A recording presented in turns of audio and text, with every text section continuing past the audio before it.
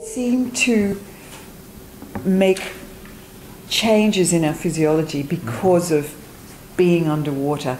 And there's actually a reflex that they call the mammalian diving reflex. Some people go underwater and they hold their breath for a shorter period of time because of fear. But if you're relaxed and you have the, the capability, what can happen when you're underwater is that you can hold your breath longer. The body starts to secrete certain chemicals. Um, one of the chemicals is produced in the heart. It's called atrial natriuretic factor.